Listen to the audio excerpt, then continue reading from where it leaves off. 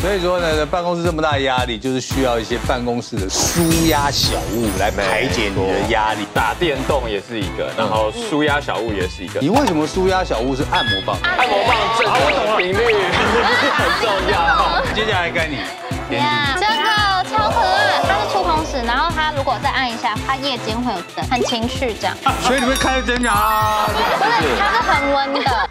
那我家里很寂寞。也有人陪在旁边。